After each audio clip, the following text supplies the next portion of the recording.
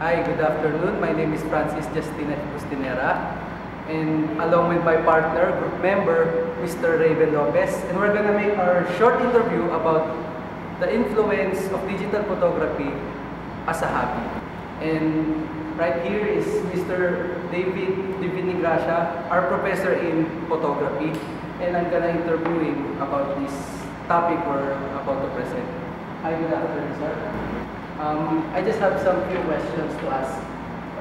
Um, my, my first question is, what leads you in taking photography? Um, what leads me in taking photography are capturing moments. Meaning, every exact moment or the right time is taken makes each moment priceless. It makes each moment beautiful. Uh, my second question, sir, is what gives you inspiration in taking photography? Uh, inspiration in taking photography. Stories. Stories of uh, or depictions of what each photographer has in mind. Sir, in what way?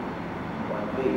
For example, you take a shot of or you choose a story or a concept, meaning you depict that on your own interpretation. And you show the viewer that this story is compelling to you. Third question, sir. What are the pros and cons of photography as a hobby? Pros and cons. So we go first with the pros.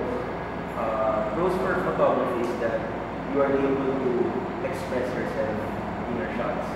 Take good shots of what your environment, yourself, what you want to show. You explore your creativity.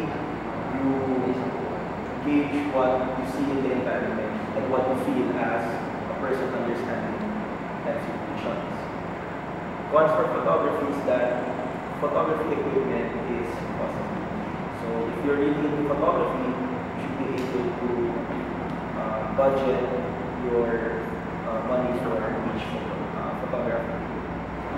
My fourth question, sir, is what type of photography do you prefer? For example, of these are nude photographies, nature photographies, and so on and so forth. I think we will be good. But aside from that, well, let's change it. I think uh, I'd be more inclined for portrait photography. Why? or maybe studio lighting. It's because you gain more control of your subject.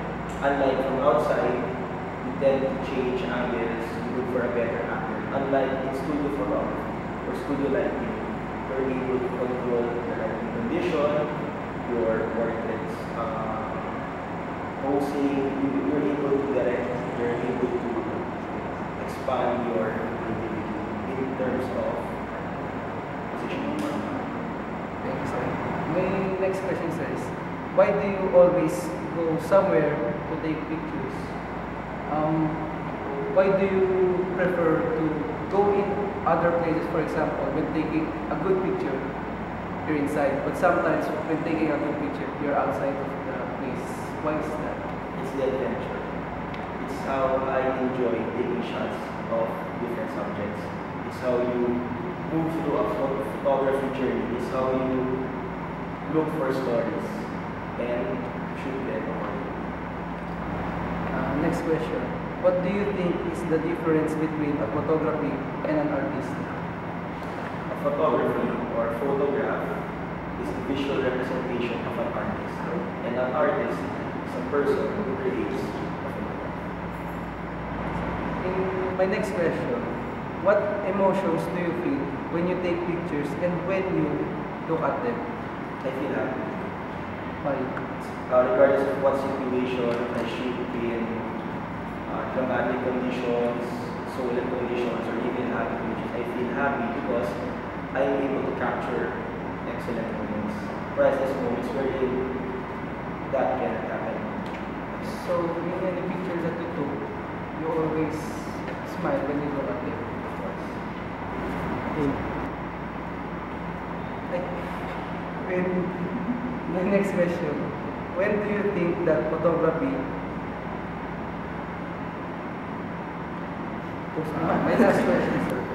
why do you think that photography became fun or fabulous to every people nowadays?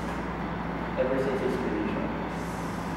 Ever since photography started, people have been getting curious about what it is, what can it do, how can it enhance the mood of person or group of persons viewing your shot. Ever since start of time, when photography started, it's already, uh, it's already became. Uh, that's all for now. Sir, thank you for. Thank. And thank you for the viewers. Hope you like it. Bye.